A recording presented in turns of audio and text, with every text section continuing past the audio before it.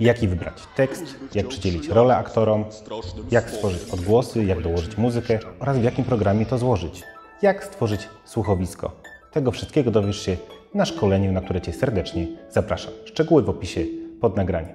Do zobaczenia.